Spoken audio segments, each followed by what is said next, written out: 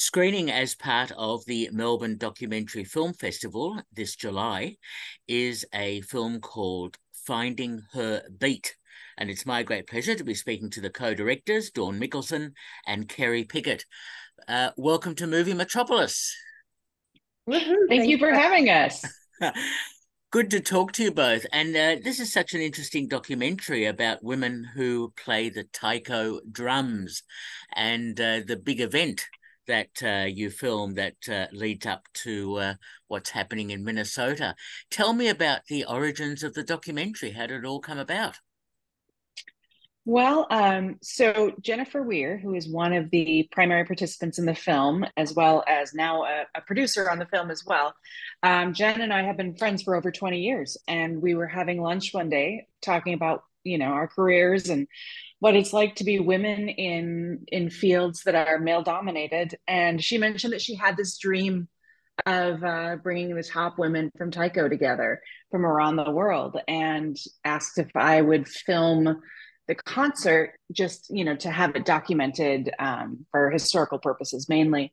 And i uh, i you know the more we talked i was like jen this isn't this isn't just a concert video this is the film this is a really powerful story in the making and we can do it because it's two years before the concert so uh, we started filming and you know immediately um, brought keri on board. keri is, you know, a director in her own right and a cinematographer and, you know, all around rock star. And we we decided we wanted to make the film in a way where the people in front of the camera were reflected behind the camera. So besides Keri and myself, uh, the majority of our crew, over 90%, is female, non-binary, queer, or Asian. Uh, and that I think gave us incredible access to not just the women who and non-binary artists who are in it, but also to the emotional understanding of, of what they're experiencing as as uh, women and queer folks and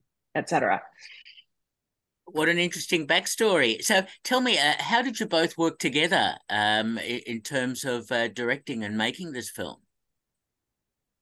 Well, um, I think that Dawn and I both are interested in uh, very similar kinds of stories in that we're both really interested in people who are are trying to make a difference in the world people who are struggling against the odds and who are in the margins.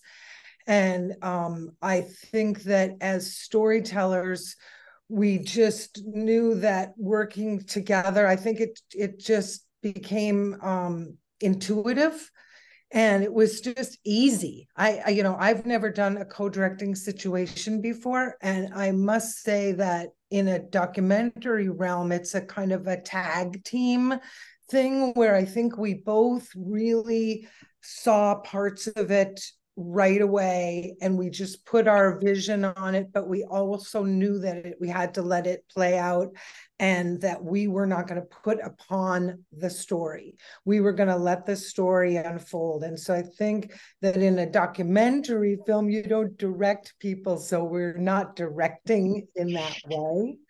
You know but we we're directing together the way that the story is being told and then ultimately both of us um, as one of is on that we're we're on the editing team. And so then then shaping that story to a place where it really fit our vision in many ways from the beginning in a in a in a way that took us a few edits to find. A few. Couple two three yes, the editing is always the fun part of, uh, completing a documentary. I understand that, speaking to so many filmmakers. Now, I learned a great deal about Taiko. I had no idea, obviously, a male dominated uh, uh, sort of uh, uh, endeavor. Um, so uh, it's so interesting how, how your documentaries, documentary, both of you have revealed what Taiko is and the role of women now in Taiko. Yeah, no, it's uh Taiko, you know, the reason I know about Taiko is my relationship with Jen.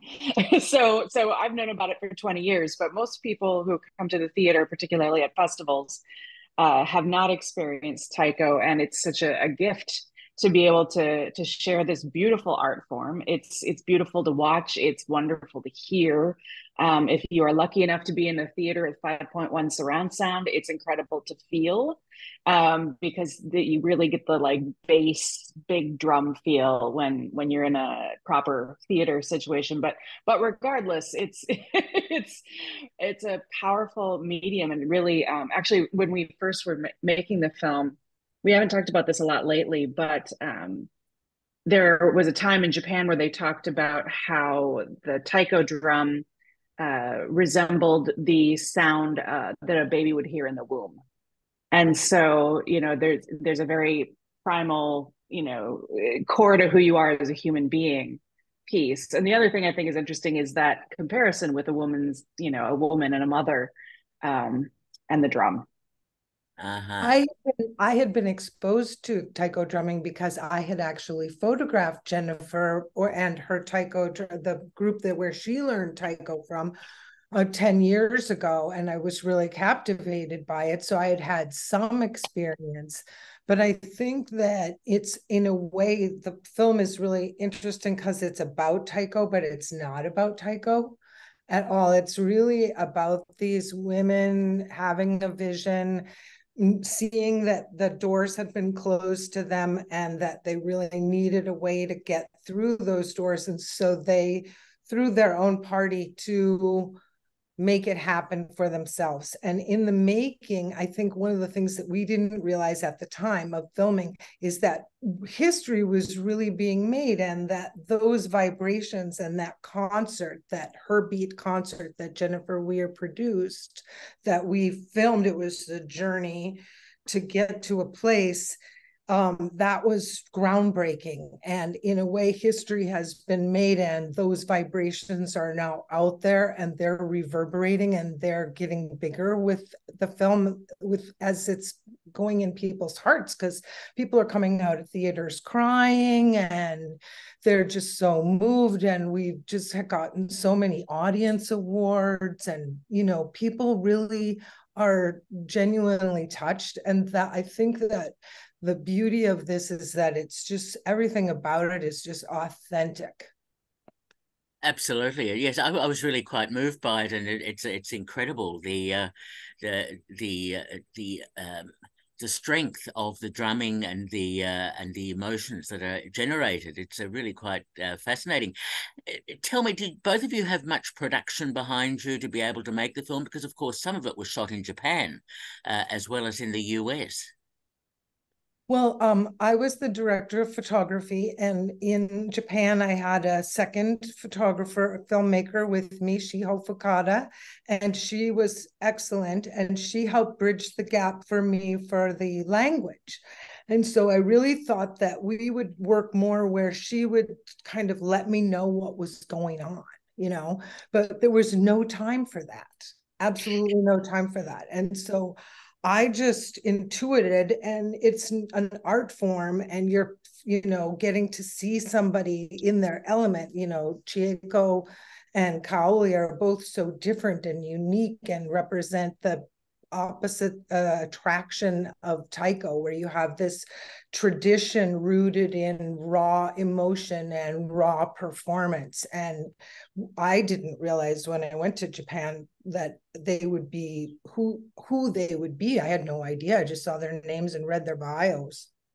Uh-huh. How how interesting to hear that Well, and and I think that you know our crew, uh, a lot of it came in during the post production as well, and actually our um, our composer, her name is Meili Hay, and she is based in Australia. I believe she's in the Blue Mountains, and um, we we found her online. Uh, we were looking for again, we were looking for a woman because we really wanted to keep reflecting the film and and found me lately and she just um, she brought so much heart to this project. Um, she uh, composed in a way that was complementary to the drums rather than you know you can easily have a conflict when there's so much music in the film already but her music really just brought in and filled out the emotions that otherwise um, maybe we wouldn't have been able to convey as as directly Um, so, you know, every step along the way, we were bringing in collaborators who were at the top of their game, who were, you know, much like the women in front of the camera, um, creating as women behind the scenes. You know, our, our sound, uh, final sound designer at Skywalker Sound was um, one of the first women or only women to win an Oscar for uh, sound design. Or, so you know it's uh, bringing all of the the unicorns as jen sometimes call them calls them together and showing how not only are they you know they're special but also there's a lot of us. Okay. Now i was also quite fascinated by the history of all this and you've used some archival footage and uh, and and so on to explain um, the, the uh, Taiko, how it's progressed over so many years. I found that quite fascinating too, and finding that material must have been uh, uh, quite interesting for you both. Yeah, I mean, we we try our best to to be very succinct in the background, so that it was a, a story that was more about the present day.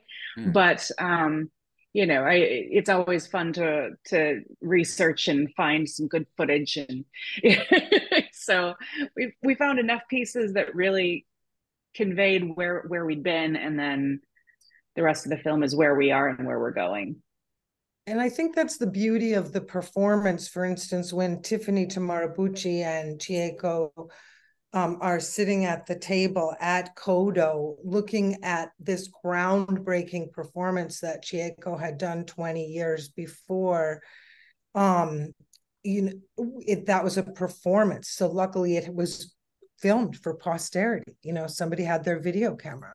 And so it was filmed. And so, yeah, we were so lucky that we were uh, talking about an art form that you know people had documented in mm-hmm. the past and then some of the photos came from the walls of the kodo itself on sado island. And sado island is such a beautiful remote place. You can kind of see how an ancient tradition would be able to last there for so long because it's very remote and a fishing village and kind of small. And you, you know you can see how change would go slowly there. Uh-huh again, very, very interesting to hear that. Now, I, I love the countdown, the uh, uh, over two years, the, the way you both uh, shot uh, the uh, events leading up to the big concert uh, in Minnesota. And and I must get you to talk about that as well, the actual performance, but which looks great.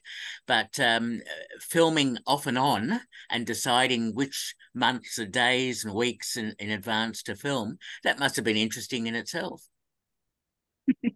well, I mean, some of it, you know, again, this goes back to the collaboration with with Jen and with Megan and you know all the Taiko players. Is you know we we were constantly talking to them about what's coming up, what's going to be part of this story, what and and to be fair, Jen is a a theater director, so she she knows a good narrative. She knows when a story um, the key components to make a story. So she was a great collaborator in being, you know, like this thing is coming up and I think it's important. And then we, you know, for example, we'd ask her, when do you talk about Taiko? When do you talk about the history of Taiko? Because something we hadn't, I don't think we've said yet is that the film is cinema verite. So there are no interviews. It's all fly on mm. the wall, you know, captured, the audio is all captured as people are living their lives doing their thing. So all of this you know information about the history of Taiko um, conveniently is something that Jen delivers to audiences before performances and that kind of thing. So, and then an interview with Chieko, um, we didn't interview her, but she was being interviewed by the media while so they were good. filming. it was perfect. So we were able to film her interview and still it's stay cinema cheating, but not. uh, yeah. Well, well done on that. That that's so fascinating. Another side uh, thing that I found fascinating is those actual drums. They're incredible. Um, where uh, uh, where are they manufactured and, and so on? Because to tune them right to uh, to be part of this taiko is just incredible. Keri, do you have a insight well, on that? Um, I we were wonderfully sponsored by some of the best drum makers who sent us drums and um, the support that came from the taiko community was huge and along the way um, uh, you know, I mean, Jen Weir at Taiko Arts Midwest has some very large drums, but some of those big, big, big drums came from they were loaners.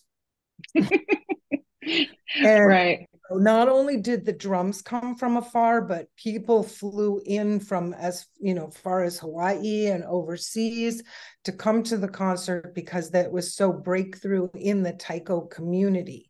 And when taiko jumped to North America, as it says and you know indicates in the film, it really became um, embraced by women, and um, so it's uh, got a lot of heart. There's a lot of heart in that community around Taiko, a lot of love, and um, they showed up for the film, and the uh, the audience that night was just the energy in the room for the final performance. I'm sorry if I don't want to be like a spoiler alert or anything, but you know, it was like really awesome. You know, some people say it's the people I know who have been in the music industry said it, it was one of their favorite concerts they had ever seen. Uh-huh. Eh, tell me about that theatre in Minnesota. It's uh, it it looks like a, a, a an excellent theatre, and to be able to fill it um, with something that is quite unusual uh, is uh, quite profound in many respects. And filming that, uh, the actual concert, that must have been quite a process. Well, um, it was uh, very exciting. Uh, I have personally never done anything like this. This was a very big challenge and leap for me. And I had um, the uh, help of Carolyn Mariko Stuckey uh, on the team on the American side for a second, for an additional and wonderful camera. And so there were five cameras on that and we really could have used well we had six when i count my gopro because when i so we really did have six cameras. Only like, five humans operating however. five humans six cameras and it would have been fabulous to have had one more. It really would have been just great. But you know that's amazing. Like have i ever done anything like that? No this was a a chance where really we all got to grow and expand and become uh, our best selves in the process of working on this film. Well, and and to you know the the size of the theater, um, one of the things that's it, it echoes what Keri was talking about about people came from you know uh, maybe half the theater was people from Minnesota or you know this region, but you know estimating that you know half of them came from across North America mm. and beyond to to see this show because it was it was groundbreaking it was historic and so you know particularly the taiko community which is a passionate community um you know people were flying out from everywhere to to be at this show and so yeah to I think we learned it sold out um, relatively early when tickets went on sale. It sold out relatively quickly. Um, so we knew it was going to be sold out but it's it's still you don't that doesn't prepare you for the day you walk in and that room is full of thousands of people you know it's a it's exciting one of the backstories that is not in the film is that for two days i think before the concert um like thousands of school children were brought in and got to see it during the day. Like school schools would just send their kids by the truckloads. And um, we didn't film that because of obvious reasons just you know just so many children. It's um uh it when it, it was it's so exciting to see how thrilled and how thrilled they were right but um now taiko groups come to our screenings and play at the theaters and so one time I was at the Sonoma Film Festival, and the group was at it was like a fourplex, eightplex theater, and big place with cars everywhere. The drummers start going, and all the car alarms start going off. because of the vibration. It was so strong. Oh, because yeah. it was like the drumming and then the eh, eh but it's fun. It's great to have our our screenings have become happenings where taiko communities get invested and you know get to shine and when people say where do I go to find out more about this taiko? I want to play taiko. Then right, the people are right there and they go, just come with us. Well, I can see that there'll be ongoing uh, concerts and events uh, for Taiko now that uh, the the groundbreaking event has really happened. So, uh, uh, and your documentary has certainly uh, assisted in that process. So, very well done. Um, so, as you've already alluded to, the reaction to your film has been quite incredible, especially the uh, uh, empowering women to uh, go into non-traditional uh, sorts of areas like like taiko. Um, uh, tell me about reactions you've had at different film festivals. Well, I don't want to brag, but you know, uh, jury awards and audience awards and it's i you know the at bentonville film festival geena davis's film festival this young woman came up to us and she was just tears just flooding down her face and she just said that she stumbled upon the film and loved it and saw herself in it saw her story as a korean adoptee in the film and was just so moved and just she was just so grateful and saying thank you, thank you as the tears were flowing. Uh huh. And has the film been seen back in Japan? Not yet. That is that is the next uh the next thing, the next uh bridge to cross, if you will. Um we're excited to screen there and actually Kodo and Goko uh the two uh taiko groups that Kaoly and uh Chieko are part of are excited to do corresponding concerts and you know they, they want to be part of sort of a mini tour of japan.